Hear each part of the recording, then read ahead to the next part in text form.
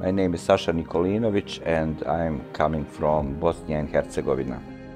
My country is considered to be one of the least evangelized country in Europe. The evangelical Christians, we cannot measure it in, uh, in percentages. In whole country of 3.6 million, it will be somewhere between 300 and 1,000, which is somewhat good. 30 years ago, we didn't have more than five churches in the country with not more than 100 Christians. So we're experiencing some slow growth for last 30 years, but it's not easy. Pastors are somewhat discouraged. Church planting is very hard. You know, evangelism is is not easy.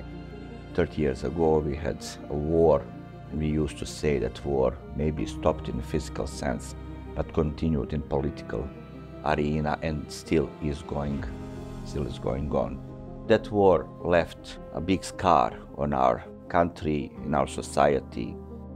Religion has been suppressed somewhat. It was not popular to be a believer. So in that environment, it's, uh, it's extremely uh, hard to, to evangelize.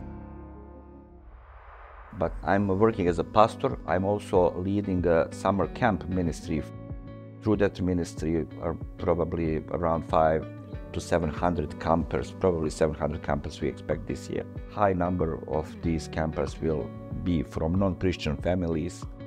We are planning to organize a big Christian festival for young people where we expect between one and 2,000 young people together in one place. So this is what I'm excited about. I want to invest a lot in young people and to hand over more and more to the next generation.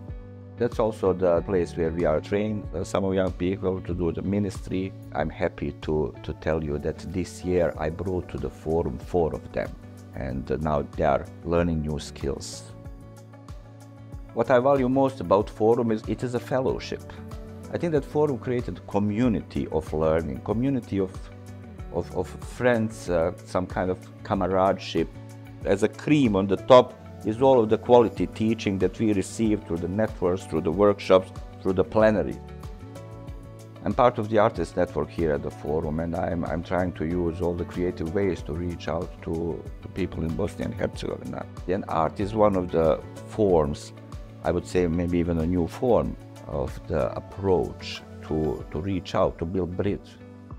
So Forum was a place of learning and growing and refreshment you know what it means to be leader and especially what it means to be a leader in, in Europe uh, in 21st century.